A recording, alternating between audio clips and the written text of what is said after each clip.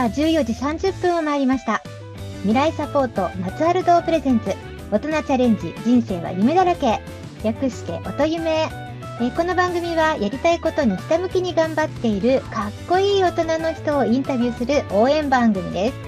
えーお相手はラジオパーソナリティのなおさんです。この番組はギノワンヒルズ FM ギノワン海の見える素敵なスタジオからではなくサザンオールスターズの生まれた神奈川県茅ヶ崎市からお届けしております。え15時までの放送です。ぜひ皆様お付き合いください。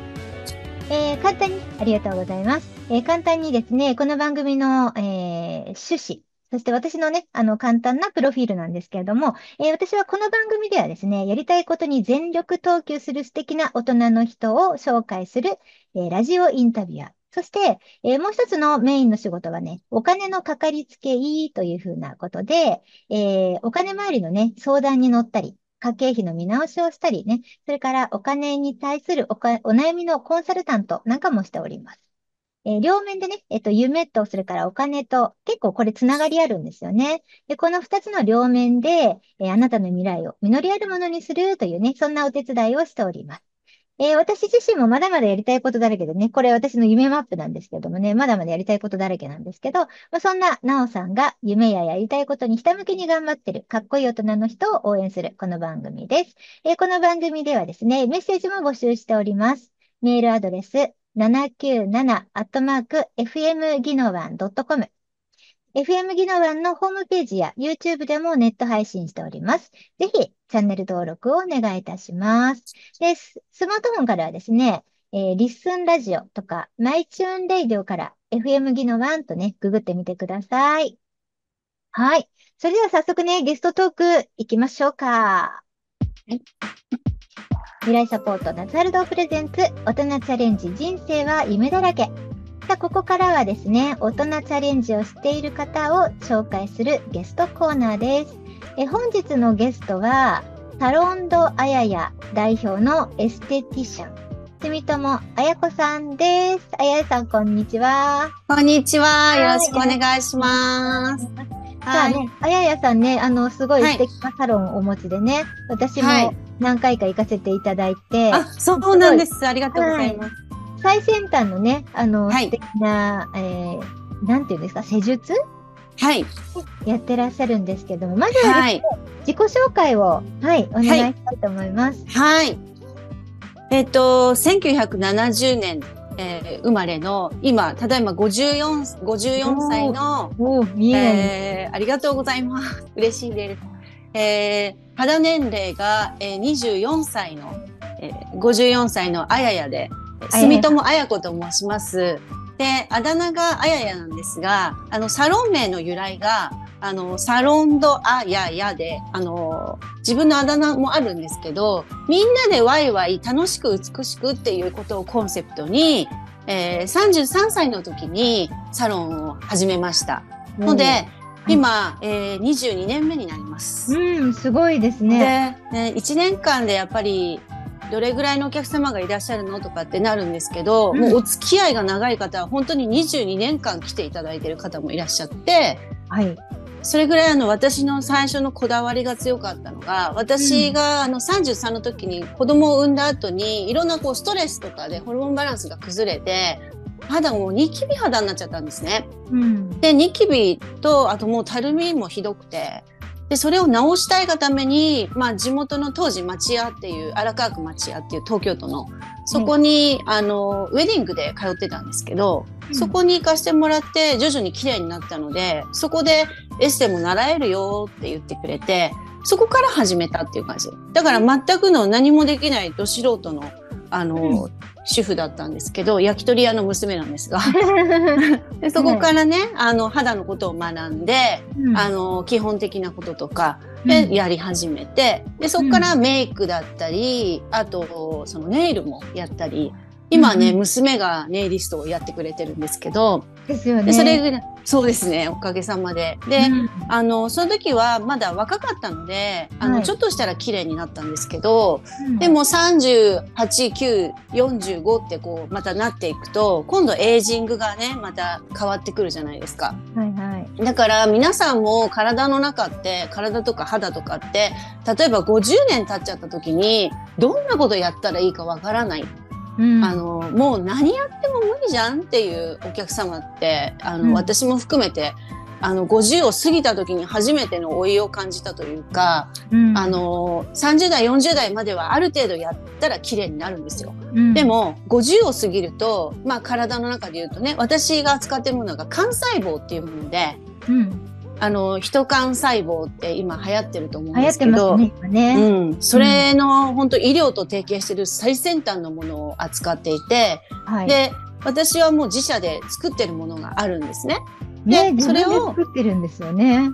そのおかげさまであの提携しているところがちゃんとしたところなのではい。あのもうねあのなお先生も綺麗になっていただいてですね あの本当にはいどんどん綺麗になっちゃってると思うんですけど、あの如実にね本当にあの1回でもねたった1回でも本当に変わるっていうぐらいうん。すごいものなんですけど、うん。でそれを始めたのが、えー、とおよそ2年半前ぐらいなんですよ。うんうん。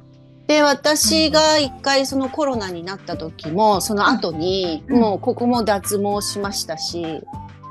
すごいペロンと剥げちゃったんですよこの辺がねスト。レあス、ストレスでですか？あのコロナの影響で、あ、そうなんだ。はい、その後遺症ですね。へえ、うん本当に。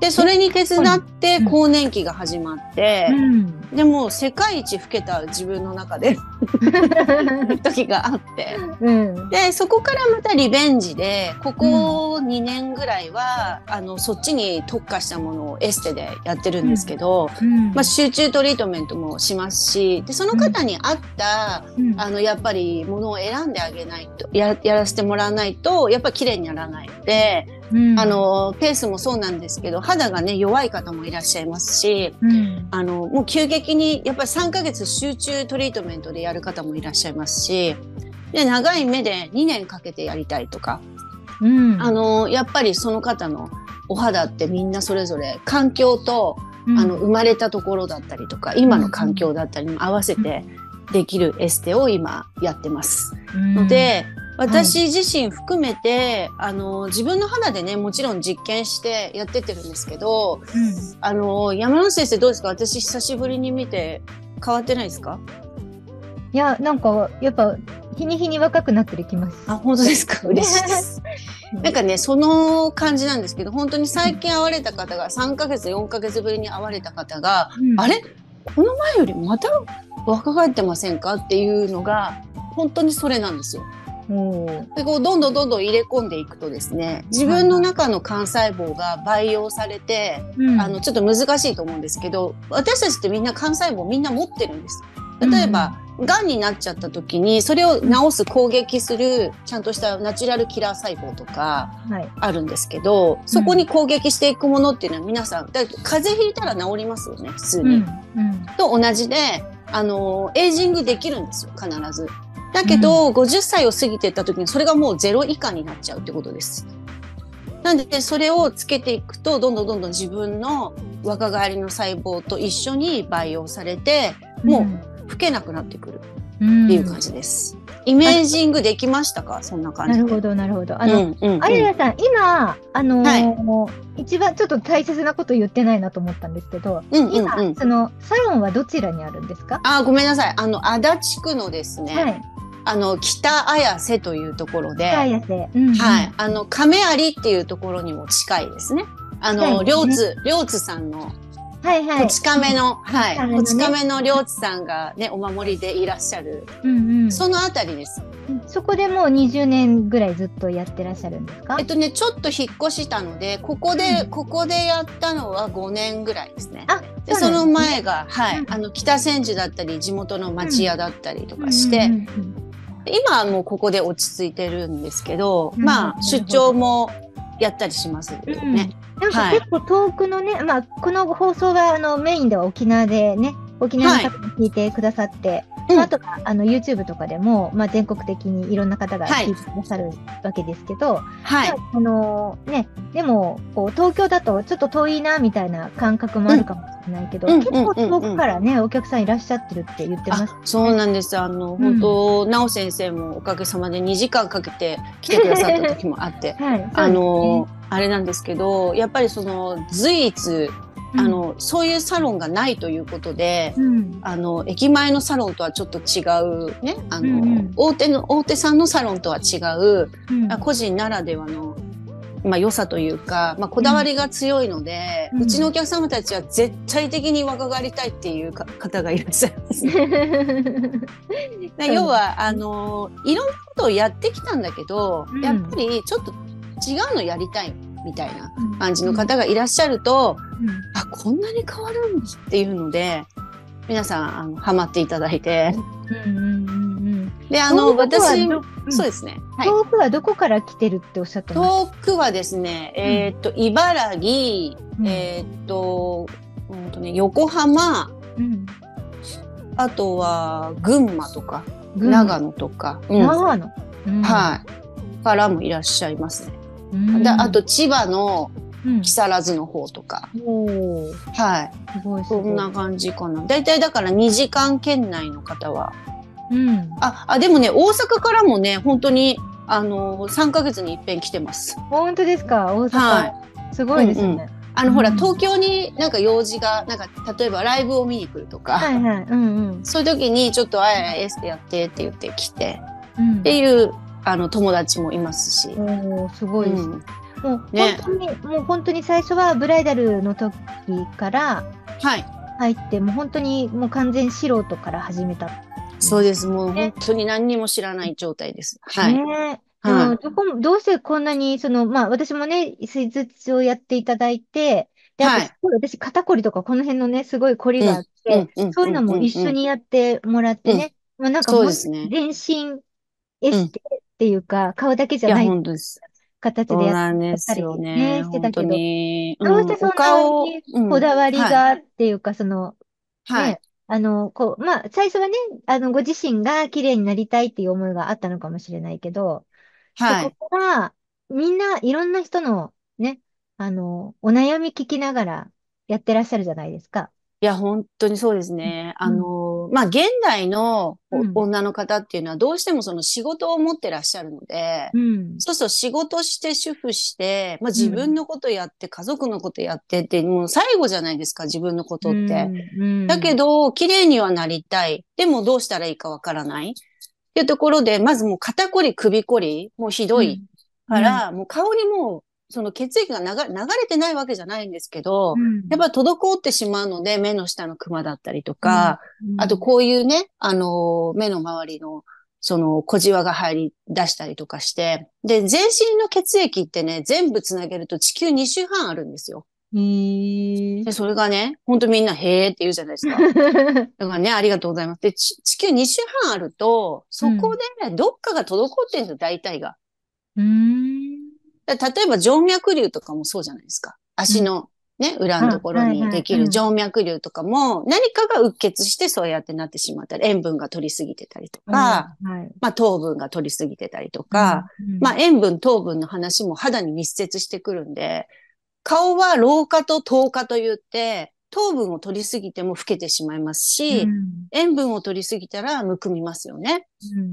うんで、水分が足りなくてもダメだし、足りすぎてもダメだし、でこううんけ適度な水分って絶対必要なんですけど、やっぱり体の中のパーセンテージを測ると、だいたい皆さん水分量が、えっ、とね、43%以下っていう方は、だいたいこうむくみやすかったり、肩もバキバキだったり、もう首も肩もこう回らないみたいな。そうすると腕とか触るともう硬いんですよ。だからね、肌も当然硬くて、あ、もう上がらないというか。で、こう二重顎になってきて、で、むくみっていうのはもう、あの、顎の下見るとわかるんですけど、ここにこう水が、水分が溜まるんです。うん。で、にここに水分が溜まってきてるってことは、もうこの辺も全部溜まってるんです。うん。で、水分って、あの、溜まるんじゃなくて流れていれば、肌って勝手に綺麗になるんですよ。うん。で、だから、あの、水泳選手とか、例えばオリンピックの選手とかってしなやかな筋肉で、すごい綺麗じゃないですか。うん。でも皆さんは、オリンピック選手じゃないから、そうやってこうトレーニングしたりとか、ね、特化したりとかできないんだけど、そういうような体に持ってってあげる施術をすることによって、顔に血液、血流が流れたり、あと水分が、あの、なんていうかな、自分で、うちの化粧品は自分で水分を発信、なんていうかな、うんと、水を得た魚じゃないですけど、うん。こう入れていくとですね、あの、自分で水分量が調節できるようになってくる、あの、化粧品なんですよ。はいはい。で、使ってると、まあ、シュッシュッシュッシュ使ってると、ちゃんと引き上がってくるのと同時に、自分の水分量って自分で調整できないんですよ、普通は。だけど、うん、調整できるように私が作ってしまったので、うん。でシュッシュッシュ、そうなんですよ。あの、で、シュッシュッシュッシュやってると、勝手にこうやってキューって上がってきて、あれうん何このツヤみたいな感じになってきて、で、なんか気づいたら、あ毛穴ないね。あれ、シミも薄くなったね。みたいな感じになるんです。うん。で、首、肩ね、あの、うんやっぱり硬いところっていうのはパソコン作業の方がね、はい。多いから、うんその一定の血液が流れなくなってくるんで、まあ、その辺とかもほぐして差し上げたりしてますね。うん。うんすごい。うん。ね、もう本当詳しくって、それが、なんだろう、ちゃんとこう、あの、自分の、ご自身の興味っていうところから入ってるってことですよね。そうですね。私自身が、あの、やっぱり首こり、肩こり、もう眼性疲労とか、うん。いろいろ、やっぱり大変なので、それをやっていくと、あ、ここだなって、こう、トリガーポイントがいろんなことが分かってくるんですけど、そうするとお客様の体を触った瞬間に、あ、もうここだな、ここだなっていうのがだんだん分かってきて、で、お顔のコリと体のコリが一緒なんで、そうすると私の年齢で友達なんかが来ると、大体みんな、あ、もうこの間ぎっくり腰やっちゃったんだよね、とか。ってなると、腰のトリガーポイントをやってあげることによって、もう腰も楽になるし、顔も綺麗になるしっていう。だから整形しなくていいよって私ははっきり言います。うん。そうあ。のー、みんな美容整形のね、医療の方で、こう、ちょっとこう、注射とかあるじゃないですか。はいはいまあやりたいのはわかるんですけど、まあそういうの一瞬なんで、うんそれよりも、あの、ちゃんと肌を、あの、育てていく方をやった方が早いですし、お金もかからないです。確かにね。うん。ねあの、もったいない、あの、針をブスブス刺して、あとね、よくある、その、筋肉をちょっと弛緩剤みたいなものでこうやって弱くしたりとかするのも、うんボトックスとかあるんですけど、そういうのも、あの、若いうちからやっちゃうともう恐ろしいことになっちゃうんでうん、でもなんかもう結構韓国とか行くとみんなバンバンやってくるじゃないですか。うん、うんだからなんかそれが私はもう一切やらないでここまで来れたんで、なんかよくうん整形してるんですかって聞かれるんですよ。あの、今医療も流行ってるんで。でもうん本当に一切、本当にやってないですって言って、うんあの、言われる、言っていただくくらい今、今そこまで来たなって感じだったんで。すごいですよね。でも化粧品をね、自分で作っちゃったっていうのがまた、ね。ね、まあね、どういうきっかけだったんですか？えっとね、もともとは、あの、化粧品会社でそうですね、20年ぐらい一緒にやってたうちのエキスパートの上司がいるんですけど、はい。で、その方が本当に肌が弱くてですね、うんあの、いろんな幹細胞とかを試したんですけど、でも、20社試して、なんかボロボロになっちゃったんですよ、最初肌が。うん。そうすると、あの、ちょっとまあ諦めようかなって思ったんですけど、うん。あの、やっぱ一社だけ大丈夫だったってことで、うん。で、そこは、あの、幹細胞と一緒に免疫抗体能力を上げていくっていうこともコンセプトにしてたんで、で、うん私たちがやりたかったことと一緒だったんですね。うん。なんで、そこに何を入れていくかっていう形です。幹細胞培養液っていうのは、あの、単体では使えないんですよ。あ、そうなんだ。はい。で、うん医療で今やってる、例えば、あの、ね、高須クリニックの院長さんとかはお金持ってるんで、1回で80万とか100万の、あの、点滴をやって癌をね、治したりとかしてるんですけど。うん。そうそうそうそうそう、いう伝説があるじゃないですか。うんだけど私たち1回で100万なんか払っちゃったらね、もうね、うん。大変なことになっ大ちゃうんで、ね。はい。それ普通のエステサロンじゃもちろんできないんですけど、うんうんで、それに、まあ、あのーそれを培養液として作れば、まあ、化粧品の中に入れて、あの、一般的な金額でできるよっていうことだったので、それをやってみたところ、まあ、最初はもう本当に一か八かって、その上司も言ってたんですけど、うん。で、やり始めたところ、すごいいい結果が出たので、で、うん私も、あの、化粧水の中に入れたいってことで。で、化粧水も、あの、今までいろんなものを試してきたんですよ。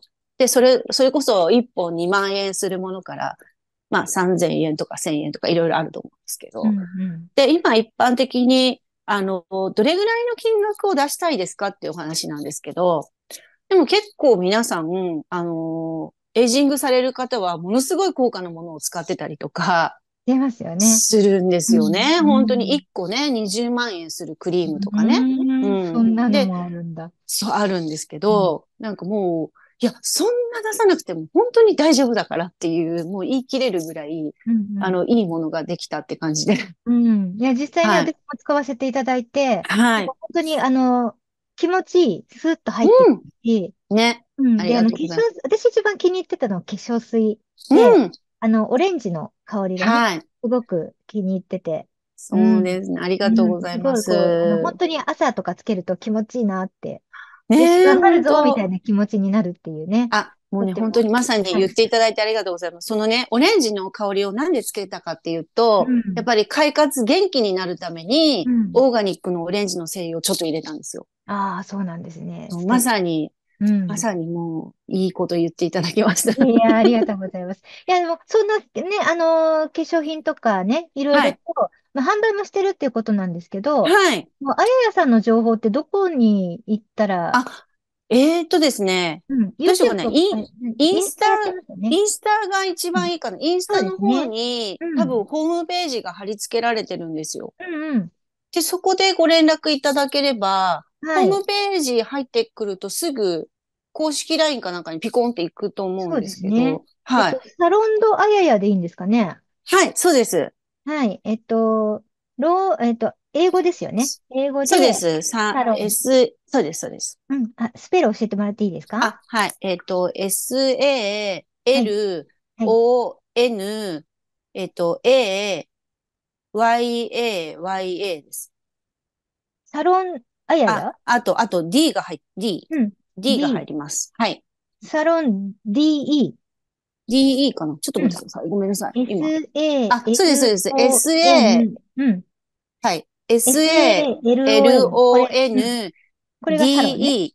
そうです、サロン。で、スペース D、DE、はいス。ペースで、あややですね。えはい、そうです。AYA、はい。YA。ね。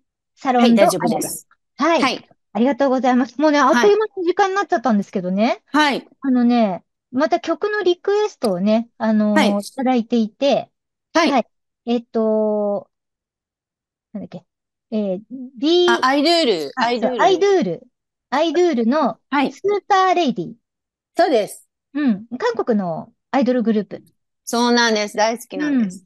ちょっとだけ、ちょっともうほとんど時間ないんだけど、ちょっとだけはいどうしてこの曲を選んだのか、はい教えてもらっていあか？の、あの、その中のソヨンちゃんっていう子が、もう全部プロデュースして歌もダンスもやるんですけど、うん。とにかく私たちはかっこいい女の子になるのっていう、うんうんうん。もう本当に上がる曲なんですよ。もで、その子たちも大好きな、綺麗で大好きなんですけど、うんやっぱりその女性って働いていくときにいろんなものとた戦っていきますう、うんよね。うんうん。あの、家庭のことだったり、旦那さんのことだったり、いろんなの戦って、でも私たちは素敵でいきたいのっていうテーマです。うんうんうんはいいいですね。これ、はいあの、あの、えっと、野球の？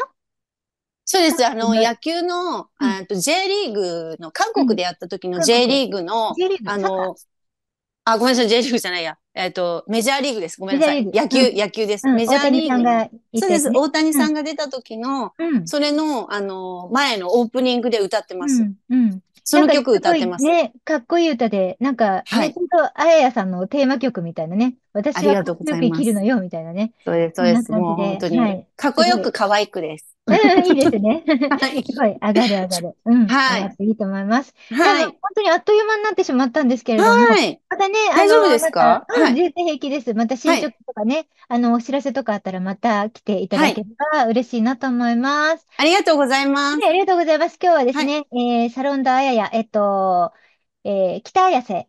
はい南綾瀬あれ？北綾瀬。あ、北綾瀬で大丈夫です。はい。ですね。はい。えー北綾瀬でサロンドあはいややというね、はいあの、サロンをやっております。はい。ミュージシャンの住友綾子さんに、えーはいお話を伺いました。はい。えーそれでありがとうございます。はですね、はい、ありがとうございました。ではまた来週の土曜日14時30分にお会いしましょう。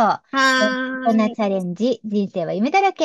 えーそれでは最後にね、えっと、アイドゥールのスーパーレイディ、今流れてると思います。それを聞きながらのお別れになります。ではまたお会いしましょう。お相手はラジオパーソナリティのなおさんでした。あややさん、ありがとうございました。ありがとうございました。